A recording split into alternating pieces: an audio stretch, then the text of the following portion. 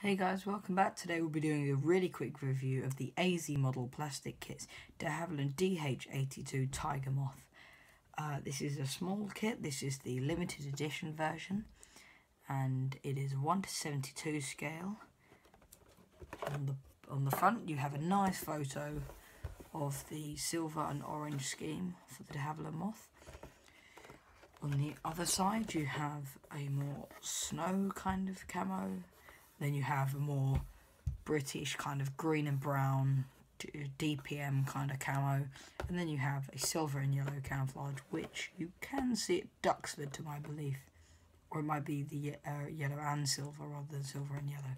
Anyway, if we open up the box, you have a nice kit inside.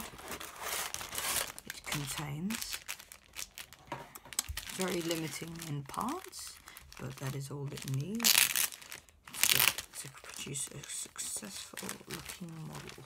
So if we open up the box, inside we have, let's start off with the instructions first.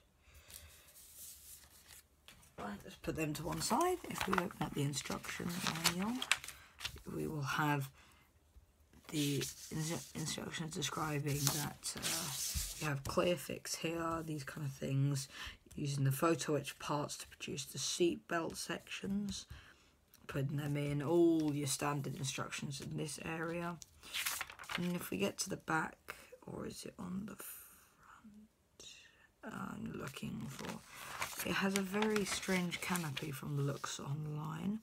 Yeah the uh, the uh, how you produce the canopy has a very weird we well I can't even find it now weird way. Yeah, there you go. You kind of have to bend it into shape yourself rather than have a vac formed or injection molded version. So uh, there is the uh, instructions.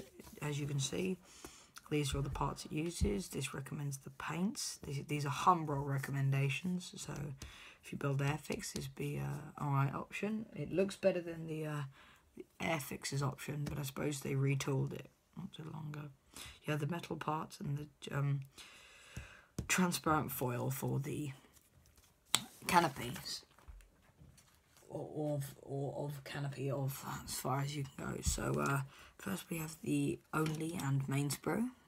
You have the main the two fuselage halves. Sorry about that.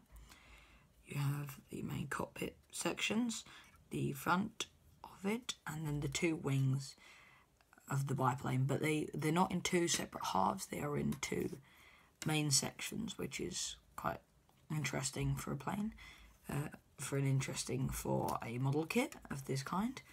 Here you have the tail and the ailerons, the, yeah, so it looks to be a fair amount of flash, but not too much that it uh, becomes a pain, but other than that, yeah, it looks quite nice. Looking at the decals, the decals quite thick looking on first glance.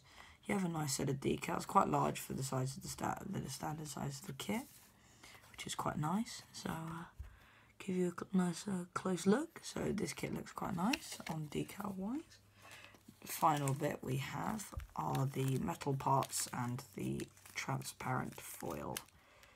So, uh, get these out. This is a protective card, I take it. So we remove the transparent foil, I don't know how well it's going to come up. Let me remove them because they seem to be focusing on. See if I can get it to focus on. Anyway, you can see the main canopy sections, which I suppose is quite helpful because then we you don't have to paint around the sides of the canopy, which can often be the most difficult part of a model kit. Can you focus? No, that's the best I'll have to do. And other than that, you have the metal parts, which are the two seat belts and a couple of other parts, so the connectors, the buckles, that kind of thing.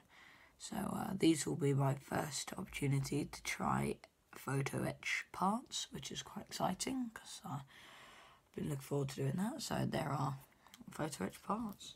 Right. So let's move these all to one side. So, on a quick review of this kit, This seems to be an exceedingly nice kit for about six, seven pounds for what I got it at.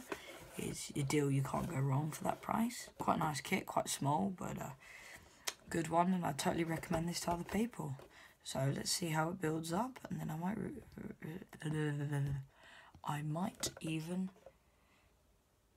yeah, it's a great kit. Sorry for a bit of a stutter there. Thank you very much, and bye bye.